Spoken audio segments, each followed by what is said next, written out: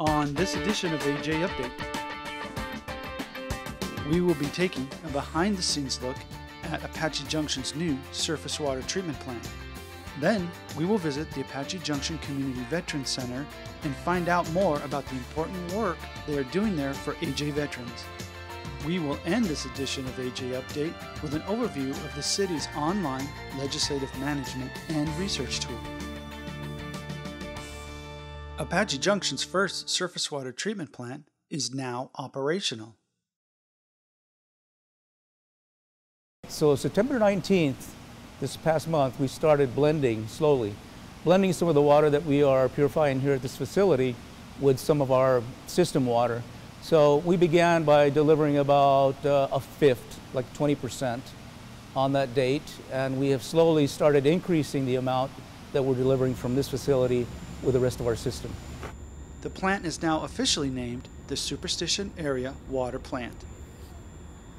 The plant is situated south of US 60, adjacent to the water source, the Central Arizona Project Canal.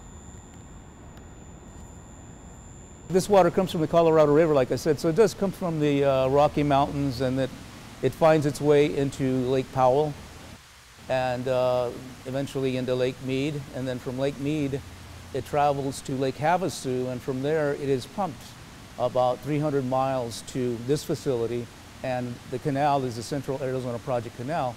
That canal terminates in the city of Tucson. We're fortunate because the canal is uh, just on the, uh, on the edges of our city boundary. So it's excellent for us and uh, opportunity to begin delivering CAP water. Back in 2015, at the groundbreaking ceremonies for the plant, local officials talked about what this project means to the community. This, this uh, water treatment plant is going to help Apache Junction grow and we'll have our, our water for the future. We're finally going to be, rely, be able to rely on ourselves for our own water without having to worry about Arizona Water helping us or getting water from Mesa for the interconnect. It, it's, it's about time that we sit on our own. Because this is a project that's been in the works for a long, long time and and it's nice to see it finally come to fruition. There's been a lot of effort by a lot of people to get this done, so this is an awesome start. We, we partnered with Mesa through the Mesa Interconnect and got water from them, treated water from them. This will allow us to be independent, to be our own city. We'll treat our own CAP water, surface water. And so what it creates is an independence. We're not dependent on other cities or other plants. And we'll be able to kind of determine our own future.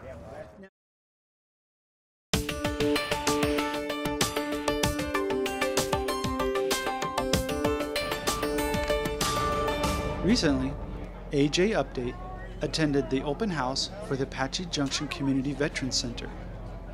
The center is located on the grounds of the Desert Chapel United Methodist Church at 462 North Palo Verde Drive. We caught up with Mike Ferguson from the Veterans of Foreign Wars who explained what the center is and why it's important. Uh, we're uh, celebrating uh, the opening house of uh, the Apache Junction Community Veterans Center, which is open up to all veterans and their families to uh, that has an issue of any sort to come by, and uh, we'll try to help them get a solution to it. If not, we are getting contacts and getting resources to where we can get them to the right agency and the right individual to get the, the solutions they need.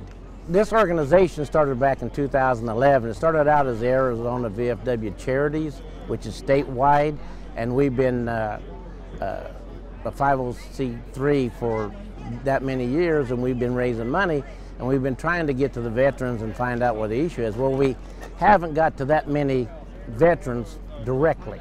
We're hoping that this Veterans Community Center takes off to where if we do it correctly, we can start another one in another city wherever it's needed and where the veterans are at. We caught up with City Council member Dave Waldron to explain what the center is for and why it's important. Apache Junction has the largest veteran population in Pinal County. Uh, one, of, one of the problems, one of the hurdles, of course, for veterans out in kind of a rural area is getting transportation to regular VA and state services. So here, because we partner with the state and, and the Veterans Administration, they can come in here and we can help them navigate them in the proper direction. The, the real hurdle is the homeless veteran because we're trying to provide a service where they will come here and we will actually leave somebody with their gear wherever they happen to be sleeping so that they don't get ripped off.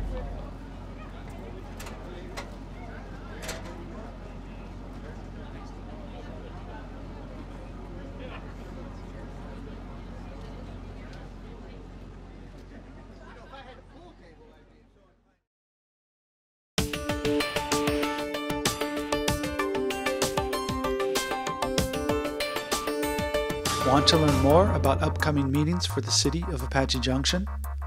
We have a virtual one stop shop for all of your meeting needs. The first thing to do is visit apachejunction.legistar.com. Then do a quick scan of the meeting dashboard to get oriented to the different options available to you. This is all depending on what information you're looking for. Just looking for an upcoming meeting date for council or a board or commission? It might be simplest to filter by selecting the appropriate date. If you are more interested in a specific board or commission, you can filter for that as well. Once you have selected an option, there are a few things you need to be aware of.